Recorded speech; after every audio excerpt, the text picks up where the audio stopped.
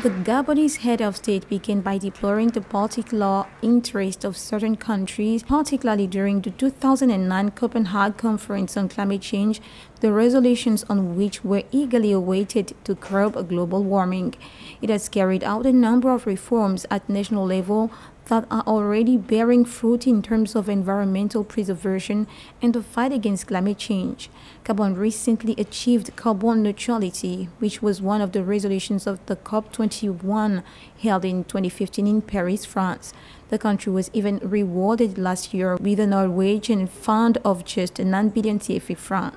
For Ali Bongo Ondimba, this African Climate Conference, which happens today in Libreville, the Gabonese capital, is all the more important as it lays the foundations of the conference of the parties of the United Nations Framework Convention on Climate Change, COP27, which will take place in Sharm el-Sheikh in Egypt from 6th of November to the 18th a meeting that should really be Africa's meeting for Ali Bongo Ondimba, who is calling on Africans to take full ownership of COP27. Africa, the cradle of humanity, must also be the continent that will save it from the increasingly visible effect of global warming.